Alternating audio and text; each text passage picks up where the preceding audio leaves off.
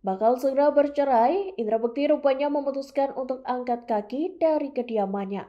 Ia diketahui kembali tinggal di rumah masa kecilnya di kawasan Radio Dalam, Jakarta Selatan.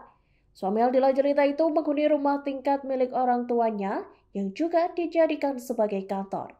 Dikutip dari Tribun Salam Sabtu 4 Maret 2023, diketahui Indra Bekti tidur di kamar bekas sang adik yakni Cipta. Indra Bekti menempati kamar bekas adiknya lantaran kamar miliknya dialihfungsikan menjadi studio. Seperti diketahui sudah lebih dari seminggu Indra Bekti berpisah rumah dengan Aldila Jelita. Diketahui Bekti angkat kaki dari kediamannya seminggu sebelum Aldila Jelita melayangkan gugatan cerainya. Sementara itu, Aldila Jelita diketahui menempati rumah yang ditinggalinya bersama Bekti dengan kedua anaknya.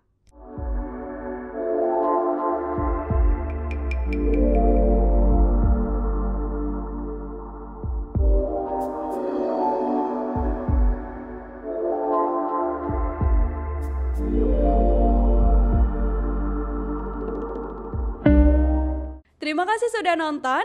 Jangan lupa like, subscribe, dan share ya.